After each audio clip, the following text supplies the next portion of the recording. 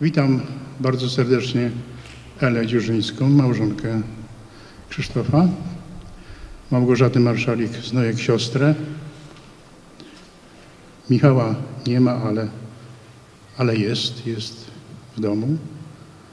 Yy, I Hanię Mitkę Marszalik. Witam również pana burmistrza z małżonką, yy, wszystkich przyjaciół i wszystkich dzisiaj tutaj obecnych. Na wstępie poproszę wszystkich o powstanie i uczczenie tego dnia, tego wydarzenia minutą ciszy.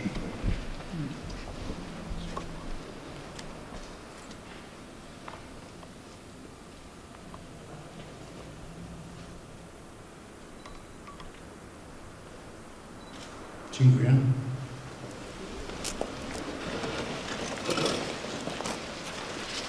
Pewnie z racji tego, że byliśmy uparciuchy obydwaj. Yy, Dochodziliśmy się w pewnych sprawach, a, a popieraliśmy się w innych. I pamiętam mm, najbardziej te jego turnieje Złotej Drużyny. Yy, Wtedy rozmawialiśmy o różnych rzeczach. Pomagałem mu w ten sposób, że robiłem mu pierwsze projekty zaproszeń. Potem przejął to mój syn i ten projekt już tak został do końca. Ale o co chodziło w tych naszych rozmowach? Ja mu mówiłem, że słuchaj, są większe sale w Pińczowie, w okolicy, a ta sala w liceum jest taka mała, niewygodna do rozgrywania takich. Ale Krzysztof mówi nie. Mówi, ja mam w tym taki zamysł, żeby tę salę licealną po prostu przebudowano, powiększano. I stąd jego działanie właśnie w tym kierunku. Przepraszam, ale ja w takich sytuacjach trochę się denerwuję może i, i muszę sobie, muszę się podeprzeć. Dzisiaj będzie piękna muzyka. Mamy tutaj wspaniałego, światowego muzyka, który chyba już zwiedził świat cały, ale przyjeżdża do Pińczowa i bardzo się z tego cieszymy. E, I mm, no i się wytrąciłem. Jestem troszkę dzisiaj. A nie, to, to chodziło tak, chodziło o tą salę. No i oczywiście nie udało mu się to, no ale ciągnął te, ciągnął w dalszym ciągu te, e, te turnieje. No zresztą zobaczycie Państwo e, te wszystkie osiągnięcia w postaci zdjęć, przekazu, innego przekazu, więc jest to naprawdę ogrom, ogrom, ogrom pracy. E, I e, to dzisiejsze spotkanie mm, jest ważne też dlatego, że Krzysiu miał bardzo wielu przyjaciół w różnych miejscach, gdzie on nie był i z młodzieżą, i, i sam. Y, I y, ci dobrzy ludzie, y, którzy mu pomagali, którzy z nim współpracowali, są tutaj. Ja chciałbym wywołać jego przyjaciół, znajomych, żeby tak jak ja, jak mówię, nieudolnie, ja się może rozkręcę, przedstawiłem ten epizod z moich relacji, żeby powiedzieli coś o Krzysiu od siebie, z tego, co e, wspólnie osiągnęli, przeżyli, dokonali. Mam taką prośbę i, i pytam, kto zacznie.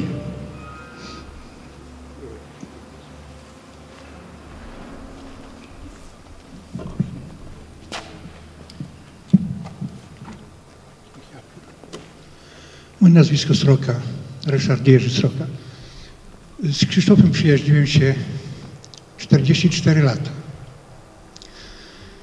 Zaczynaliśmy od dyskotek, nosiliśmy taki ciężki sprzęt po szkołach, po koloniach i tak dalej. Wychowywaliśmy się prawie na jednym podwórku.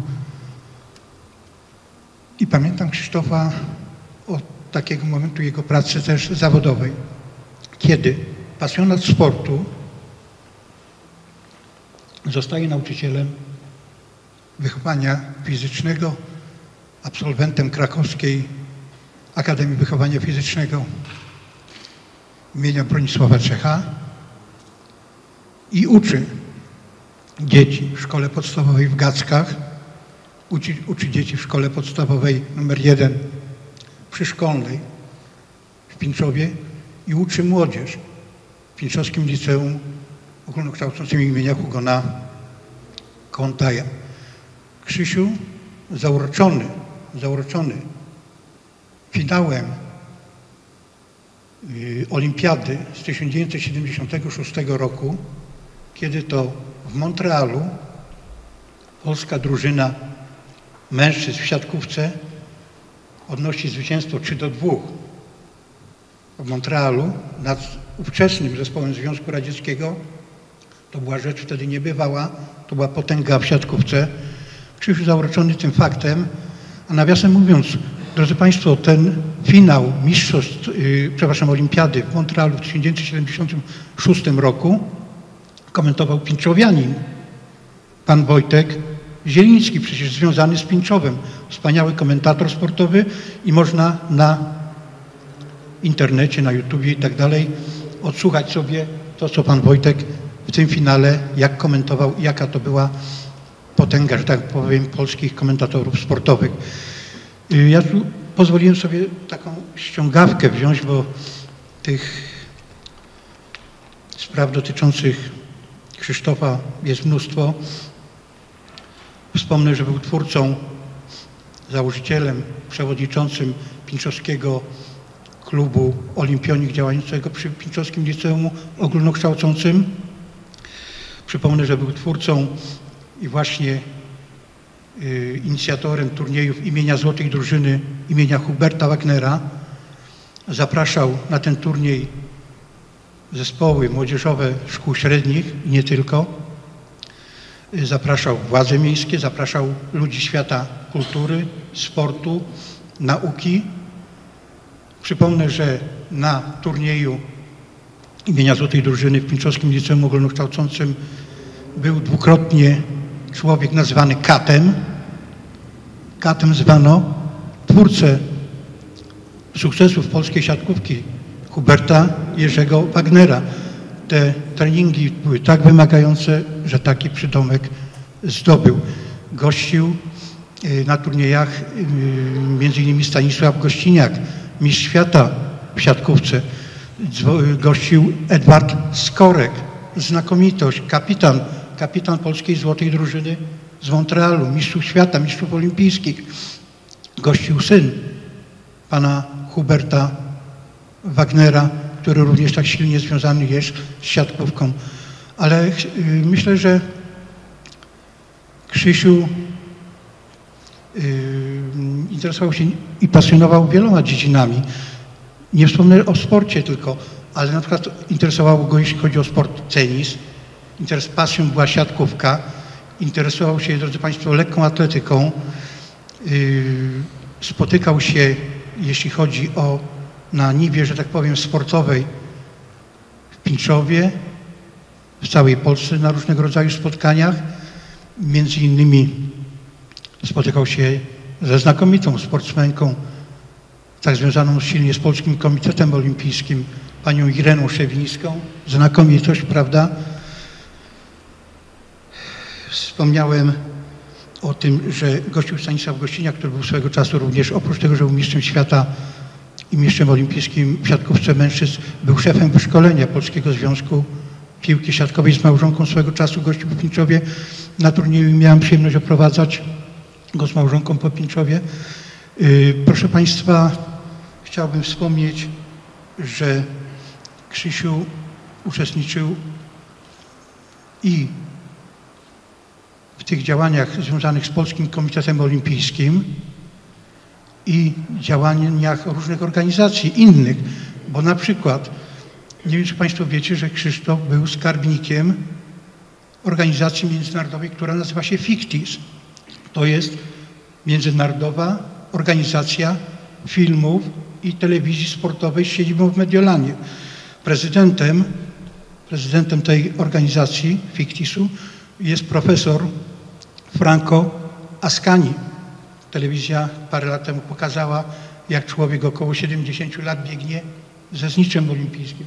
Profesor Franco Ascani i wielokrotnie, wielokrotnie, drodzy Państwo, yy, Krzysiu uczestniczył w tych działaniach tej organizacji Fictisu. Yy, chcę Państwu yy, powiedzieć, że był taki moment, był taki moment, kiedy Krzysiu wraz z profesorem Franco Ascanim dostał zaproszenie do Watykanu i w auli papieża Jana Pawła II, Jana, przepraszam, Pawła VI, papieża Pawła VI, kilka tysięcy zgromadzonych, drodzy Państwo, ludzi, pielgrzymów i tak dalej. W pierwszym rzędzie w tej auli papieża Pawła VI siedzi Krzysztof, siedzi profesor Askani i mieli wręczać papieżowi Janowi Pawłowi II honorową girlandę w imieniu tej organizacji filmów i telewizji sportowej. I przed samym tym wręczeniem, rozpoczęciem tej audiencji w auli w Watykanie papież zachorował. Ta aula się, ta, mm, nie odbyło się to spotkanie z papieżem, nie odbyło się to wręczenie tej honorowej girlandy fiktisu. I pamiętam słowa Krzysztofa, jak powiedział, tak blisko byłem,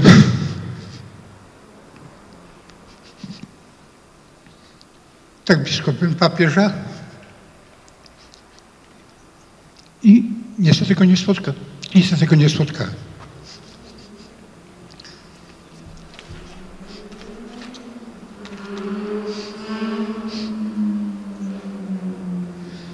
Przypomnę, był wychowawcą wielu pokoleń młodzieży. Jeździł po Polsce i kraju z tą młodzieżą nie szczędził swojego czasu. Zajmował się zajęciami piłkę siatkową z młodzieżą. I chciałem powiedzieć, że bardzo sobie cenił przyjaźń Arturem. Pamiętam, jak wielokrotnie nieraz do mnie dzwonił i mówi, słuchaj, wiesz, gdzie Artur jest? Ja mówię, no nie wiem, gdzie Artur aktualnie, bo Artur jeździł po całym świecie. No wiesz, rozpoczyna tournée. Tak? Ja mówię, no gdzie w tej chwili jest? Rozpoczyna tournée począwszy od Indonezji, poprzez Australię i ma zakończyć tournée Artur w Nowej Zelandii. Cieszył się z tego. Wielokrotnie każdy sukces Artura muzyczny po prostu żył wieloma sprawami. I żył między innymi, bardzo sobie cenił, tak jak podkreślam, przyjaźń z Arturem, którego koncertu za chwileczkę wszyscy wysłuchamy. Yy, powiem jeden z takich, może jedno z takich zdarzeń. Kiedy pojechaliśmy na finał Ligi Światowej do katowickiego spotka, zajechaliśmy całą grupą do Katowic, pod katowicki spotek. Krzysiu został z grupą przy autokarze. Część z Państwa zna Jasia Stępnia. Ja z Jasiem Stępniem, który aktualnie mieszka w Warszawie, ale jego rodzice, pan doktor Stępień, tak silnie związany przecież był z Pinczowem. Ja z, właśnie z Jasiem Stępniem poszliśmy, mając zarezerwowane te bilety na ten finał Ligi Światowej Spodku, po te bilety do kasy. Wzięliśmy, kupiliśmy te bilety, idziemy z tymi biletami, ale Jasiu y, mówi, musimy Krzysiowi zrobić jakiś kawał. No i tak dochodzimy do tego autokaru. Krzysiu nas widzi z daleka, my idziemy tacy strasznie smutni. Dochodzimy do tego autokaru, do Krzysztofa z grupą, a Krzysiu się pyta, co, nie ma biletów? No my z Jasiem mówimy, słuchaj Krzysiu, no są bilety, no przecież mam, mamy, ale jest problem. Jeden problem jest. A Krzysiu się pyta, no ale jaki problem? Bilety są, jaki problem? No problem jest, mówię Krzysiu, taki, że ten bilet okazuje się na, na, te, na tą Ligę Światową w katowickim spotku upoważnia do trzech, do wejścia na trzy mecze. No i właśnie nie wiemy z Jasiem, czy mamy iść z grupą na trzy mecze, czy na jeden. A Krzysztof, oczywiście, oczywiście, że na trzy. No na trzy mecze. I poszliśmy, zostaliśmy na trzy mecze. Dziękuję Państwu.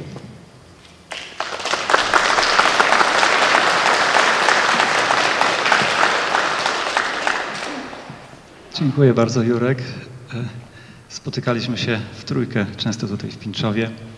Krzysiek był człowiekiem niezwykle inspirującym. Wiem, e, obserwowałem jego poczynania jako wychowawcę. Często przywoził młodzież, w zasadzie regularnie, dwa razy w roku.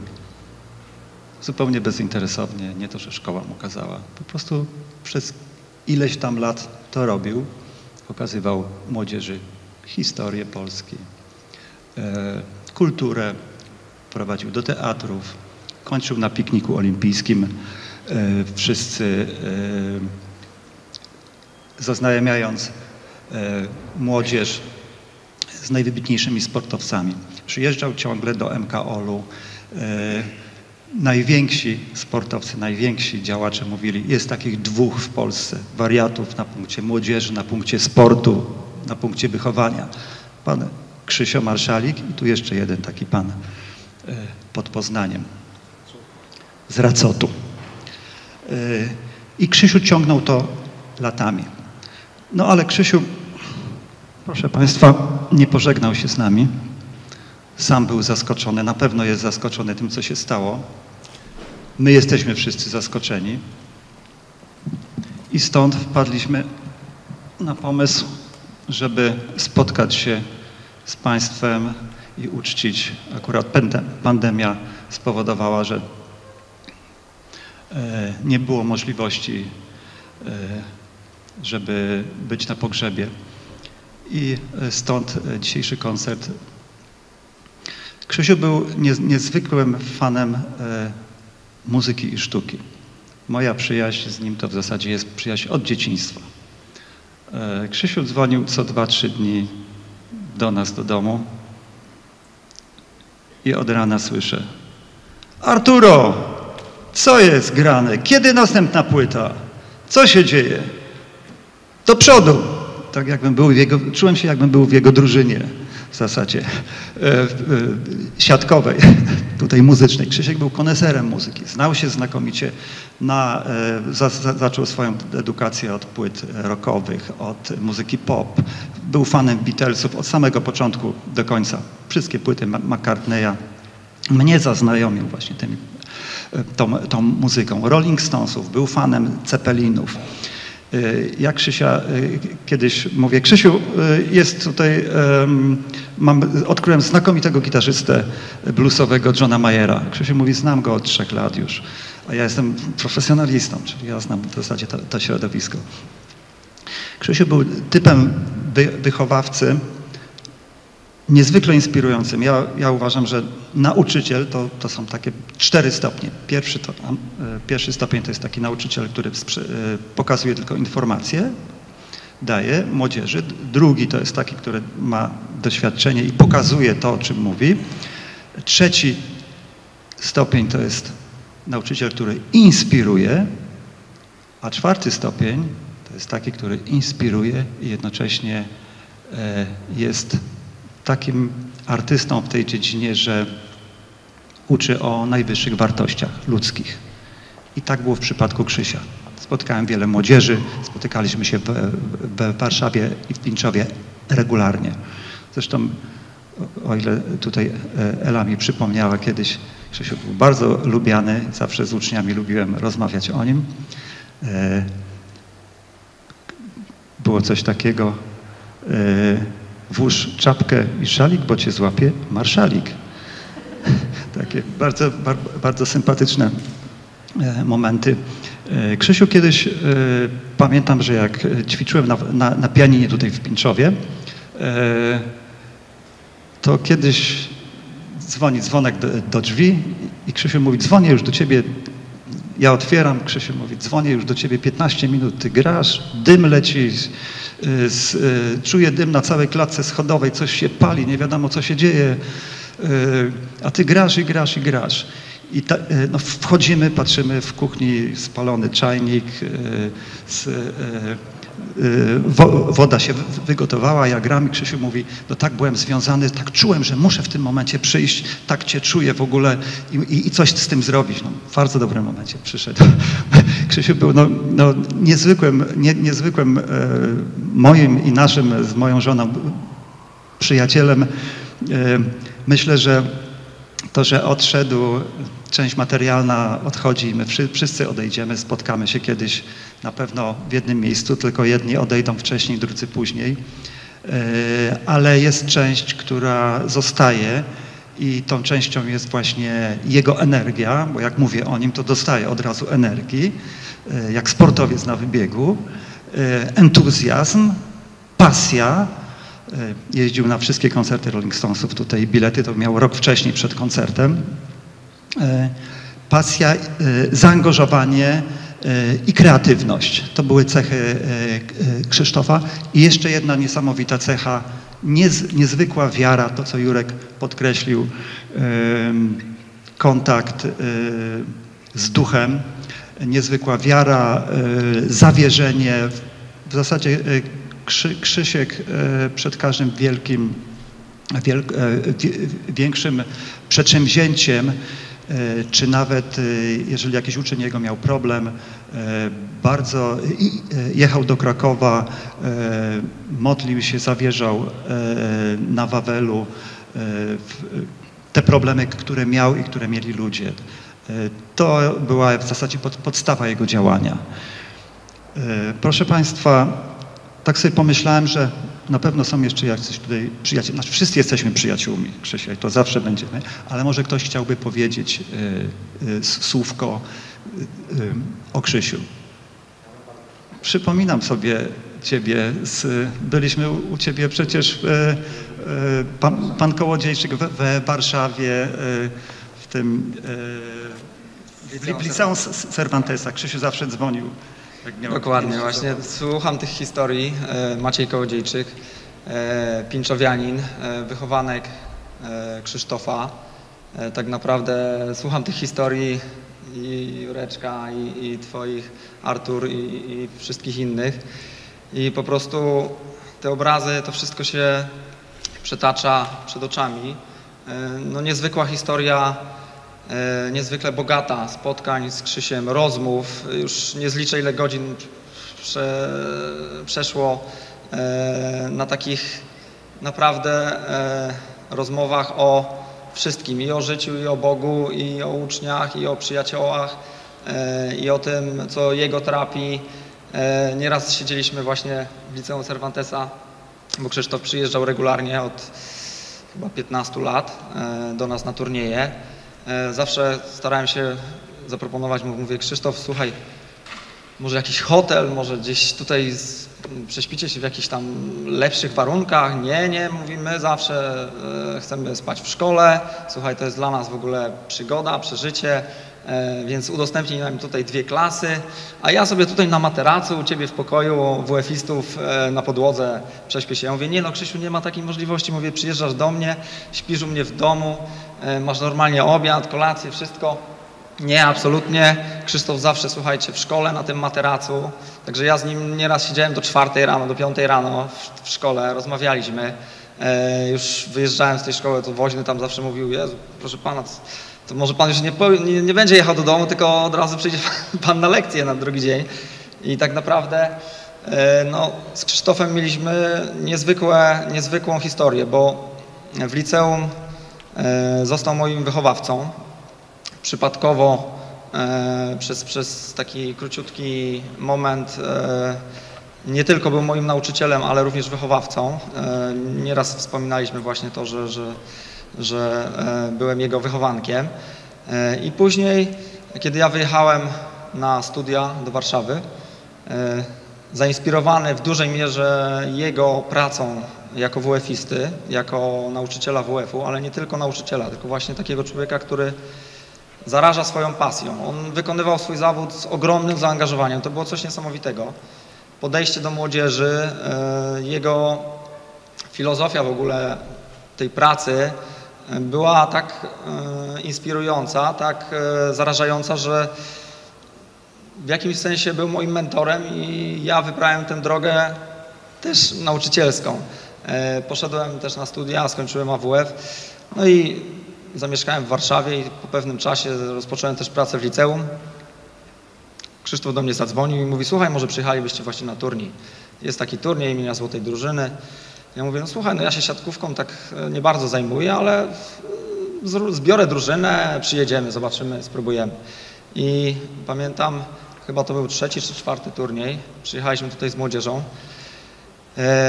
E, No, to jak ten turniej wyglądał, jaka była atmosfera na sali gimnastycznej, właśnie to o czym mówił Jurek, że Krzysztof zawsze e, bronił tego bardzo e, i bronił tej swoje, tego swojego przekonania, że, że, że, ta, że ta sala w liceum właśnie ona żyje, tak? że tam ci wszyscy ludzie, którzy siedzą blisko siebie, że niemalże na parkiecie, to jest niesamowite właśnie ta atmosfera i ta młodzież, która wyjeżdżała ze mną e, z tego naszego warszawskiego liceum mówi, proszę pana, my nigdy nie byliśmy na czymś takim, na takim wydarzeniu. To było niezwykłe przeżycie dla nas. Później przyjeżdżaliśmy przez wiele lat, aż turniej został zatrzymany. Krzysztof też zainspirował mnie, żebym ja taki turniej zaczął organizować w Warszawie i on przyjeżdżał do nas. E, więc ta, ta przyjaźń się zawiązywała, wielokrotnie żeśmy rozmawiali. Ale E, Chciałem tutaj powiedzieć, e, oprócz tego, że łączyło nas takie, takie wspólna pasja do, do zawodu nauczyciela, do, do, do podejścia do młodzieży, to Krzysztof e, dał mi coś jeszcze, coś, coś niesamowitego. Dwie rzeczy, które na pewno zapamiętam do końca życia. Pierwsza to e, to, że był człowiekiem ogromnej wiary i kiedy zachorowała moja siostra, e, na nieuleczalną chorobę. E, Krzysztof napisał list do papieża i dostał list z Wa- z Watykanu e, w intencji mojej siostry. Przekazał nam go. Siostra jest zdrowa, w tej chwili naprawdę dobrze się czuje i wszystko gra i mówi, że, że, że, że po prostu nie wie jak to się stało, ale, ale jest wdzięczna e, za ten, za ten gest. No i druga sprawa jest taka, że Krzysztof zawsze, zawsze, no nie znam, nie znam drugiego takiego człowieka, zawsze widział e, pozytywną stronę życia, czyli dla niego nie było rzeczy niemożliwych. E, On potrafił przyjechać e, do Jędrzejowa czy, czy do Buska i nie miał transportu rano, no to szedł na piechotę po prostu do Pińczowa e, i przychodził do domu i mówi, to nie jest żaden problem, no przecież to jest tylko parę kilometrów. No, nie było rzeczy niemożliwych. E, Zawsze mówił do mnie, Maciek, przecież ty masz takie możliwości, ty jesteś w Warszawie, ty możesz wszystko, ty naprawdę mógłbyś tutaj zrobić niesamowity turniej, bo ja zawsze robiłem taki, taki mały w porównaniu do tego, co on. E, Natomiast e, no, człowiek, dla którego nie było rzeczy niemożliwych i tak jak Artur powiedział, kończąc, no nie miałem okazji mu podziękować. To jest, to jest coś e, niebywałego, jak to się stało. Jestem cały czas zaskoczony w ogóle, że nie ma go, pewnie jak większość z nas.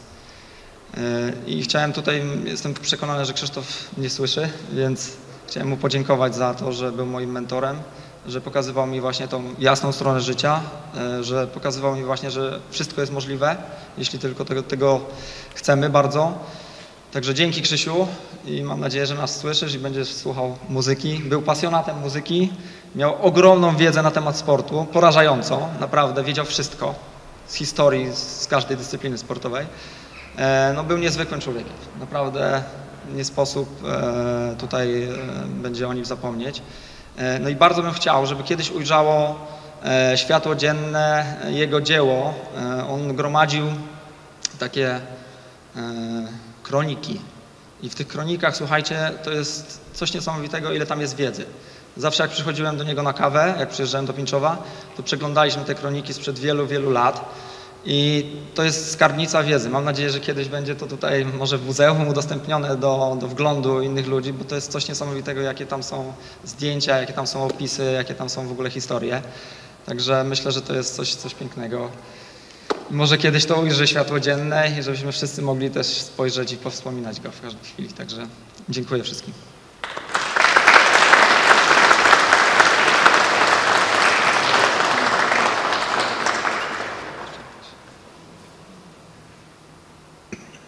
Jeszcze, o pan.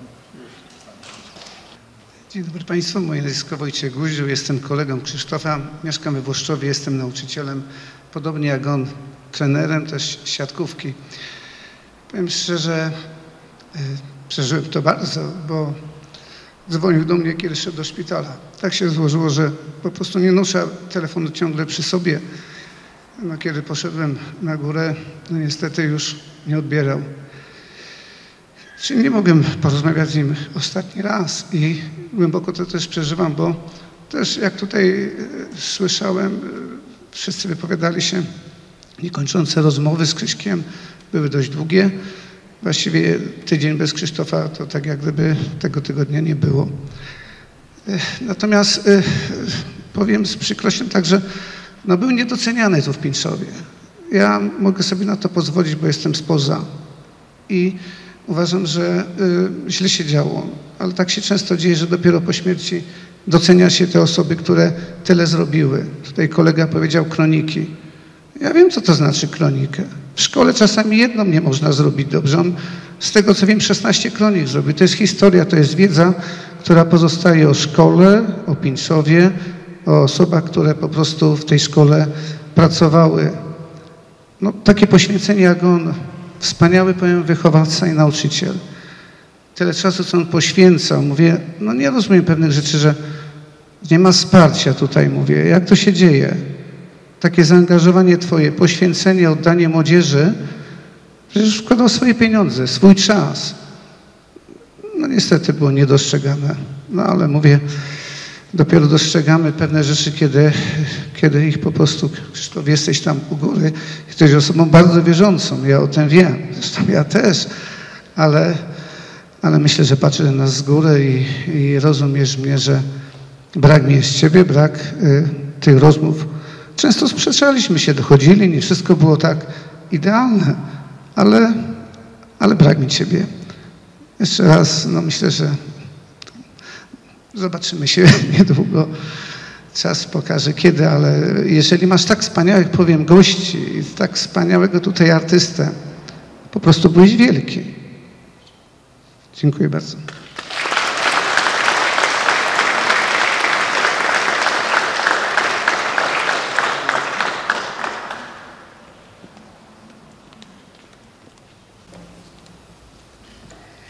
Drodzy Państwo, byłam dyrektorem, który współpracował z panem Krzysztofem. Odszedł od nas tak nagle i niespodziewanie. Pamiętam, jak zadzwoniła do mnie pani Elżbieta Dziurzyńska i tak naprawdę nie wiedziałam, co mówi, bo powiedziała: Pan Krzysztof jest chory. Proszę nie spodziewać się, że szybko przyjdzie do pracy nie jest dobrze. Na co ja, chcąc dodać otuchy, nie wiedziałam, co się dzieje, ale chcąc dodać otuchy, powiedziałam: Wszystko będzie dobrze, proszę pozdrowić pana Krzysztofa, czekamy tutaj na niego. Proszę mu życzyć wiele zdrowia. To był taki moment, w którym, jak się okazało, pożegnałam się z nim tymi słowami. Ale to nie jest koniec. Kroniki, o których Pan mówił, zostały przekazane do szkoły i te kroniki będą żyły. One nie zostaną zamknięte w szafie czy w pomieszczeniu z dala od oczu ludzkich. Wychowankowie pana Krzysztofa noszą go w swoich sercach, mówią o tym. On nie odszedł tak do końca będzie w pamięci naszych uczniów i w naszej pamięci. Nie zapomnijmy go, a szkoła, która nie mogła go z tym honorem godnym nauczyciela Liceum Ogólnokształcącego imienia Hugona Kołątaja pożegnać, zrobi to w dniu 16 września o godzinie 11 msza pogrzebowa w intencji pana Krzysztofa, w której weźmie udział cała szkoła. Przejdziemy na, potem na cmentarz, gdzie oddamy już bezpośrednio hołd. Msza pogrzebowa mogła mieć tylko pięć osób. A teraz pójdziemy wszyscy z pocztem sztandarowym.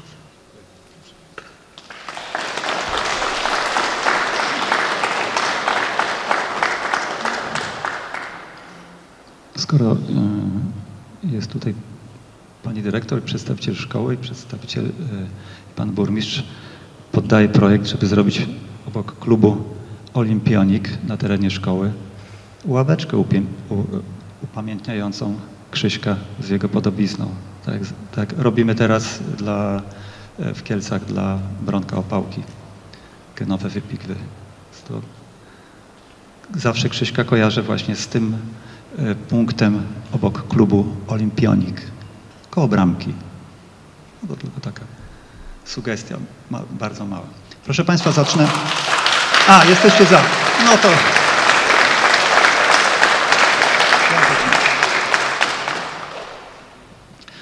Y, proszę Państwa,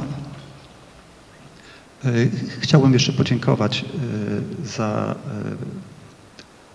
udostępnienie i współorganizację i dobre słowo Pani Iwonie, bo ten koncert by się nie odbił bez pani, nie odbył bez Pani Iwony Senderowskiej, która użyczyła tutaj nam wszystkiego i Pani Dyrektor Justynie Dziadek, e, pani dyrektor e, Muzeum Regionalnego e, w Pińczowie, która pożyczyła nam tutaj fortepian Steinway.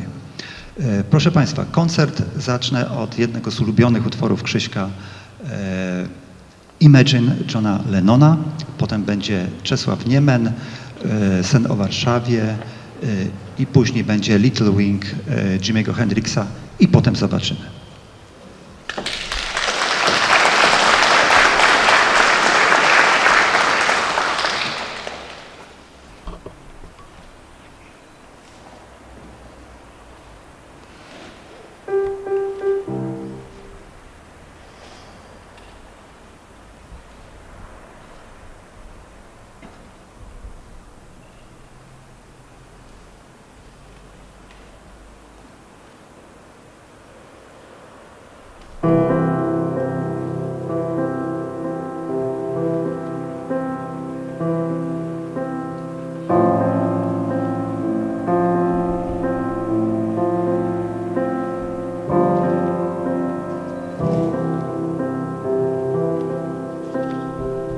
Música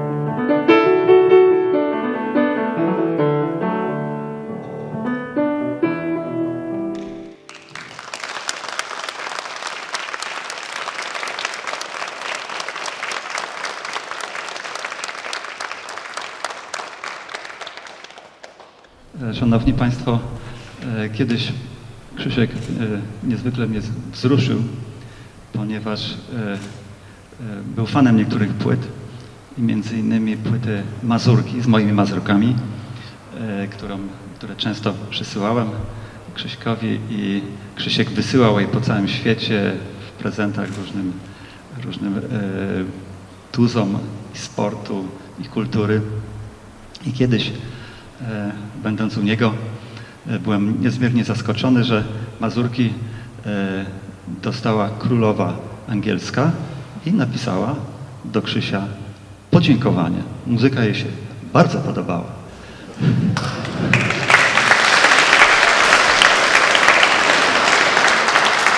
Królowa Elżbieta. I e, w związku z tym chciałbym jednego z tych mazurków, e, Mazurek Afryka, zagrać Państwu teraz.